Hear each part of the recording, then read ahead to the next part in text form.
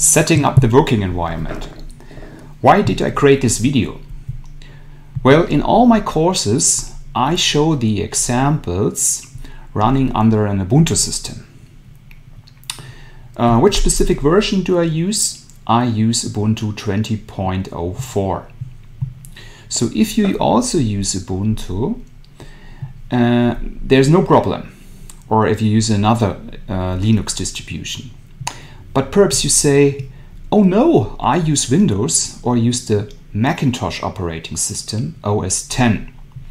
But then don't worry, this video shows you how to set up a so-called virtual PC which runs on top of your normal operating system, so Windows or OS 10, using a virtualization software called VirtualBox.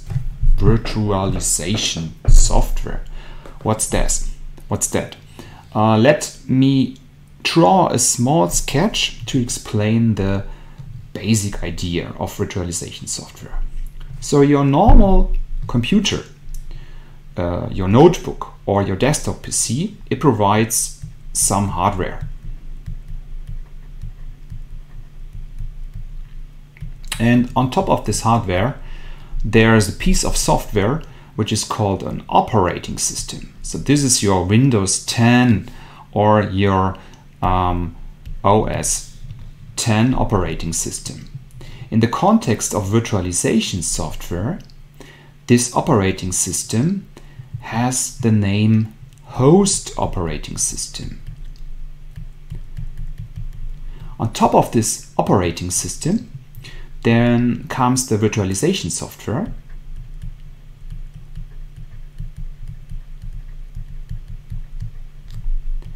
Which in our case is VirtualBox. However, there are also other uh, possibilities. You can, for example, use um, VMware. Here I suggest to use VirtualBox because it's free. On top of this virtualization software, you can generate virtual PCs. You can generate different virtual PCs, for example, a virtual PC 1. So basically, this is a um, virtual computer which is simulated by the virtualization software. You can create many of them. Virtual PC 1, Virtual PC 2, up to Virtual PC N. And on top of these virtual PCs, you can run, uh, you can install and run an operating system, which is then called in the context of virtualization software, a guest operating system. So the guest operating system runs on top of a virtual computer, which is simulated by a virtualization software, which runs on top of the host operating system. Okay, now I will show you all the steps that are needed to set up the software, this uh, VirtualBox software, and to set up a virtual PC. Um, this, these are four steps. The first step is to download and install the virtualization software VirtualBox. Then we will also download Ubuntu, this operating system which we want to install into this VirtualBox. We will then start VirtualBox and create a virtual PC and then we will install Ubuntu in that virtual PC we just created. Okay, let's start with the first step. Go into your browser and search for the VirtualBox software. The first links probably um, will be the right link it's uh, Oracle VM VirtualBox. Why Oracle? Because now VirtualBox is developed by Oracle. So click on this link and you will see the VirtualBox homepage. You can see that the current version of VirtualBox is 6.1. Go to downloads and then you will come to the download page where you have to choose your platform. So what is the guest, uh, what is the host operating system you use. If it's Windows, click here and you will, um, and the pop-up window will appear uh, which allows you to download the installer for Windows. If you use Macintosh, the OS 10 operating system as your host operating system. You um, also will uh, see this pop-up window with a uh, disk image file for download. Uh, in my case, I already use Ubuntu, but I will also install this software here to show it you. Um, I have to click on Linux, Linux distributions. another page will appear um, where you have to select your distribution. In my case, I use Ubuntu 20.04. Um, so I click on this link and I will get the possibility to download a Debian package. After downloading, after having downloaded this Debian package, just double click on it um, uh, in File Manager and VirtualBox will be installed.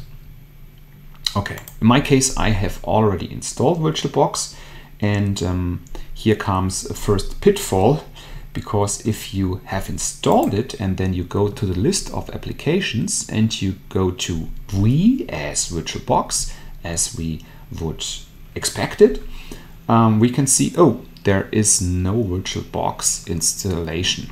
It seems to be that there is no installation. Um, keep in mind that it's developed by Oracle and the name is Oracle VM VirtualBox. Okay, so it's installed here and you can um, just click it and the Oracle Virtual uh, Machine VirtualBox software will open. So we have finished the first step. We have downloaded and installed VirtualBox. Now the next step is to download Ubuntu uh, because this may take some time. I suggest to use to do this at the second step because in the third step we want to create a virtual PC which takes some minutes but in uh, and so in the meantime Ubuntu can be downloaded. So for downloading Ubuntu we go back to our browser open a new search window and just enter Ubuntu because the first link will bring you already to the Ubuntu download page. What we want to install in this virtual PC is the Ubuntu desktop version. So click on this first link here, Ubuntu desktop. And uh, it's um, the version 20.04.1 uh, is okay. That's exactly the version we want to download. Just click on download and um, then another pop-up window should appear uh, which allows you to download this ISO file say save file. now you can choose where to download this Ubuntu ISO file this uh, contains all the stuff we need to install Ubuntu later after we will have installed a first or set up a first virtual PC Okay, so click on save and um, save this file. Now go back to the VirtualBox software we just opened and you can see there are two buttons, new and add. What happens if we click on this button add? Um, the software VirtualBox tells us that we can select a virtual machine file, but we do not yet do not have yet one. So uh, this is if you already have created a virtual machine file before. What we want to do is to create a new one, so we click on new. Um, we have to um, enter some settings and we will be guided through this assistant which helps us to um, adjust all the settings for creating a first virtual PC. First, we have to think about a name for the virtual PC. Let's call it perhaps like I did it in my sketch, virtual PC 1.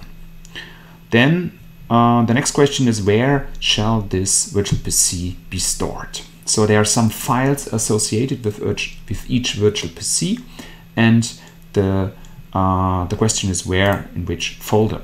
So um, I suggest to uh, set up a folder, to create a folder where you store all your virtual PCs. So let's say other, and then in the file manager, choose a mm, folder where you want to store all the virtual PCs. I will create a new one. 26 uh, virtual box machines. Great. Okay, we want to open this folder. So now um, VirtualBox, the VirtualBox software knows that this first virtual PC1 shall be stored as a subfolder in this root folder 26 underscore VirtualBox underscore machines. We also have to enter which operating system which we intend to install in the future into this uh, virtual PC. And since we want to install Ubuntu, we choose Linux because Ubuntu is a Linux distribution. Uh, which version? Um, we want to install um, Linux uh, Ubuntu 64-bit. Okay, um, so go to the next page and at the next page we have to set up the memory size for the virtual PC um, that we want to use. On my system I have a total of 32 gigabyte. So this is about these are about 31,000 megabytes. And some part of this physical memory can be used for this virtual PC. Um, how much do you want to use? The recommended memory size is, um, I would say the limit, the, the, the lower limit is at least uh, one gigabyte. And this is a little bit um, a little bit small, I would suggest to use um, per, perhaps 8 um, gigabyte. So these are 8192 megabytes. Okay, let's go to the next page. On this page, the VirtualBox software wants to know um, whether we uh, want to add already a virtual hard disk.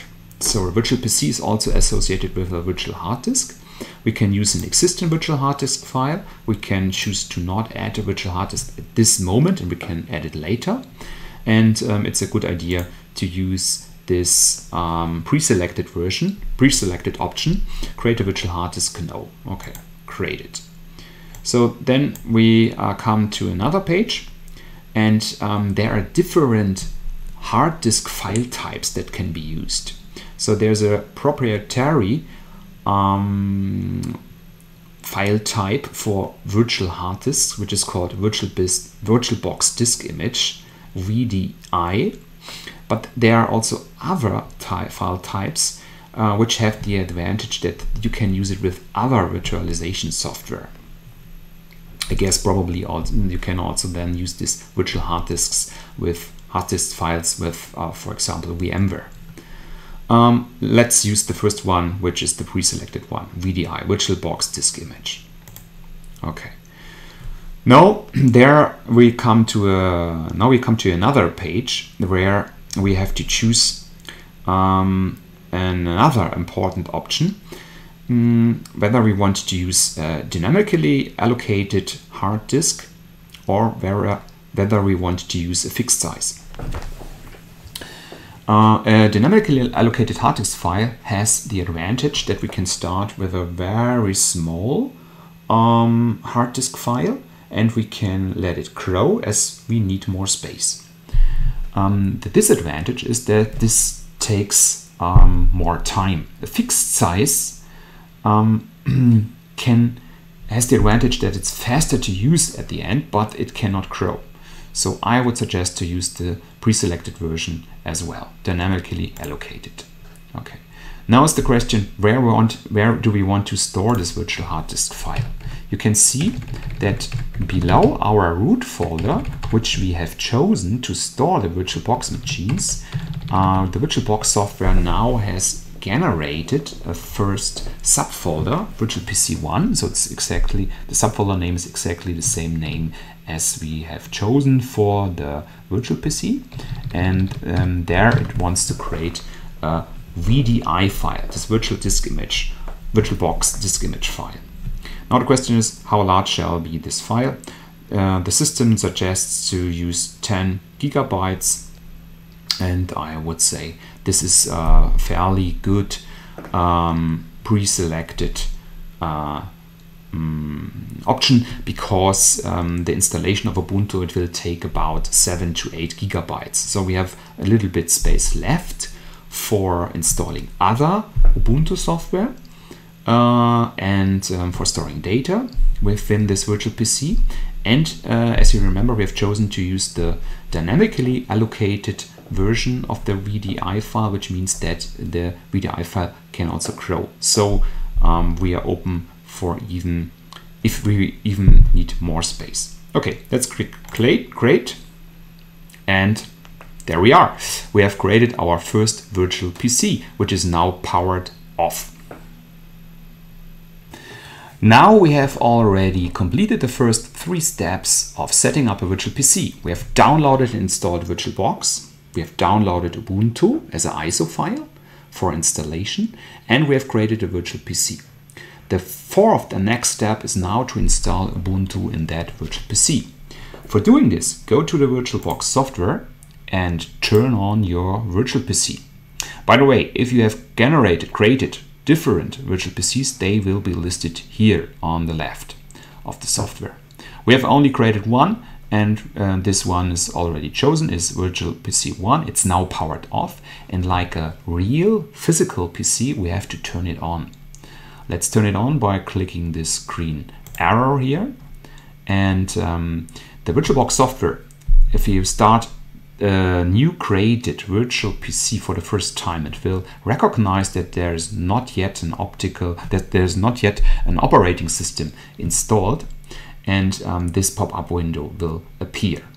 And um, this allows us now to choose a virtual optical disk file. It's like inserting a virtual disk in a virtual CD-ROM drive. Click this button and then say add. And this is our virtual disk file. Uh, it's ISO. It's this, this ISO file. Um, we choose this one and then we say choose and we say start.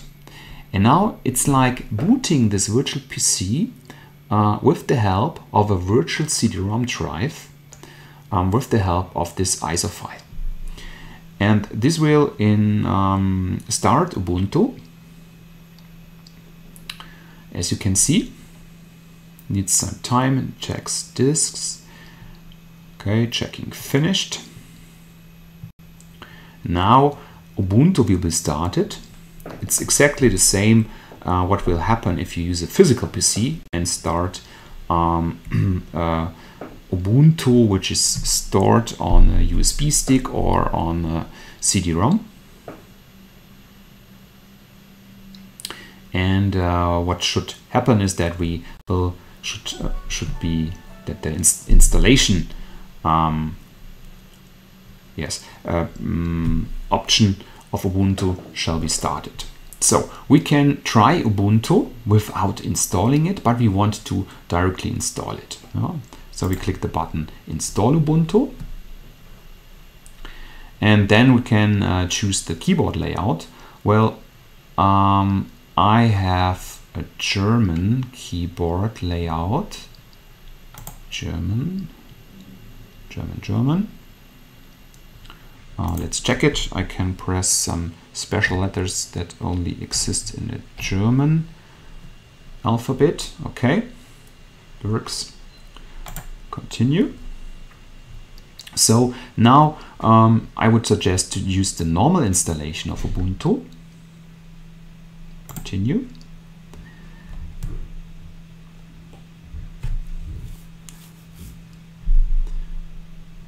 Everything else which we will need in the future can be installed afterwards. And now there comes a little bit um, scaring uh, message. Um, mm, if we now choose this option and say install now, this will erase the disk and install Ubuntu. Warning, this will delete all your programs, documents, photos and so on, but not on our guest PC, but on the uh, virtual PC. But there's not anything installed on the virtual PC, so we can click install now. Okay. Uh, the installation process of a Linux system, it um, uh, means that there are some that some partitions will be uh, hard disk partitions will be created. Just say uh, continue. So now it asks where where I am. Well, I'm located in Kempten in Bavaria in Germany.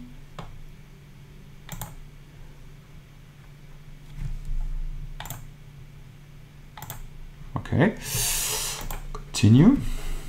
And now um, we have to uh, enter our name. Okay. And while we enter our name, um, the Ubuntu installation process will make some suggestions for the computer's name and for our username. But I want another username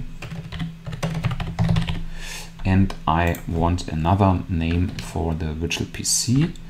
Um, I call it virtual PC 1 in the VirtualBox software and I want to uh, be named it as virtual PC 1 also within the Ubuntu system. Uh, password, okay, I will use my standard password which is secret um, but I want the system to log in automatically. So if you start your virtual PC, um, I will not have to enter my uh, password because I want to start it uh, rapidly. No? Okay, login automatically. So now the process of, of the installation of the Ubuntu system starts and it will take some minutes. Yeah? So it's now um, this time and let's see how long it takes. Here I'm back after installing Ubuntu. In my case it took about 14 minutes to install Ubuntu.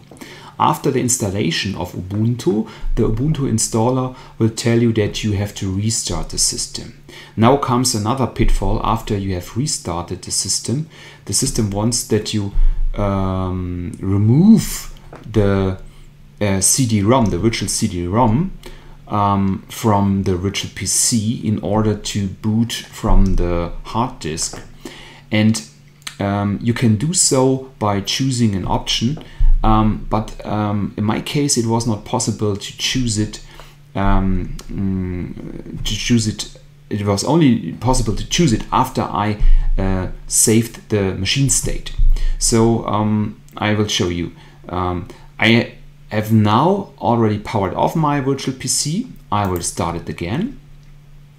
And um, you can see that it already uses the hard disk drive where I have installed um, the um, where I've installed the Ubuntu system. So it will now boot from the hard disk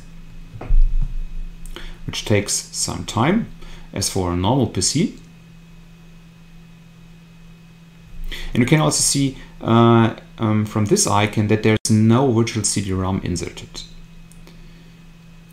Can insert a virtual CD-ROM by going to devices, optical devices, and then we could choose again this ISO image file here. Yeah? So now I have inserted this um, ISO file and I can remove it. This is the option you have to choose if you restart or if you start your virtual PC for the first time in order to boot from the just installed um, hard disk.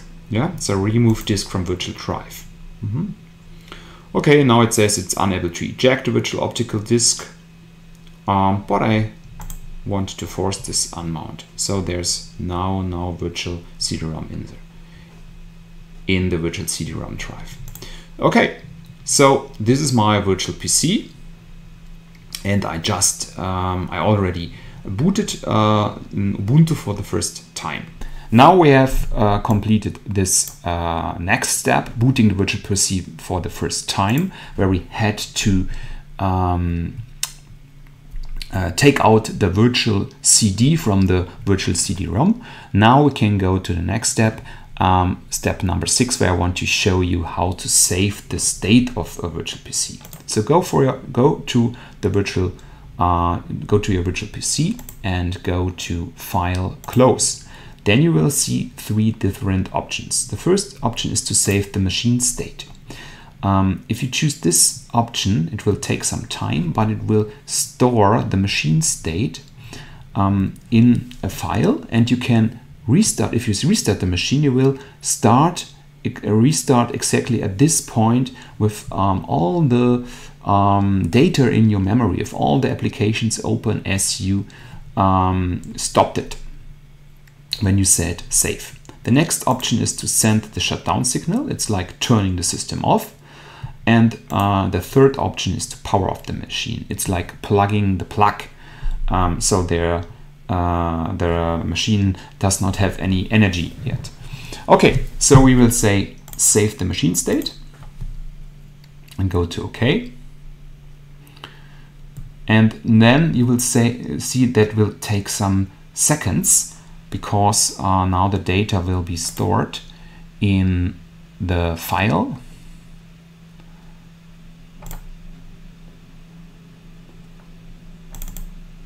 Now the data will be stored in the virtual PC files that are associated with this virtual PC1.